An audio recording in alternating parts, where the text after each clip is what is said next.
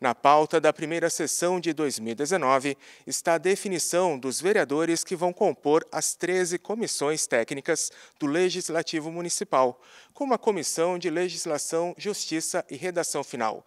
Cada comissão tem três integrantes, nos cargos de presidente, vice e relator.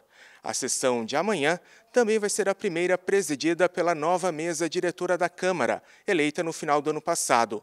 O vereador Paulinho Amandio, do PDT, foi reconduzido à presidência, com o vereador Murilo Pereira, do PP, na vice-presidência, o vereador professor Acácio, do PSDB, na primeira secretaria e a vereadora Renata Narciso, na segunda secretaria.